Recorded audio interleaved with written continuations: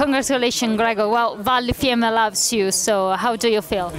Yeah, it's very, very nice. Uh, I have three medals, one in gold, two in silver, so it's unbelievably great. It's a, it was a very nice uh, world championship for me, and yeah, I'm, I'm very proud and happy.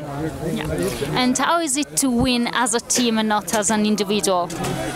Um, it's always great to win with the team because uh, you know there is so much in the background with all the coaches and and of course with all the teammates and yeah it's it's it's always nice uh, to be happy with with more than one.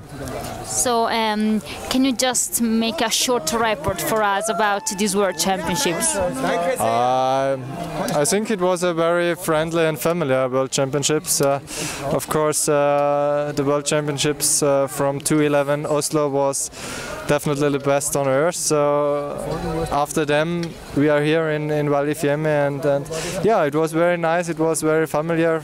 Uh, it was a little bit a, a home World Championships for me because it is uh, not so far away from at home, and yeah, uh, I liked it. Okay, so we'll wait for you again here.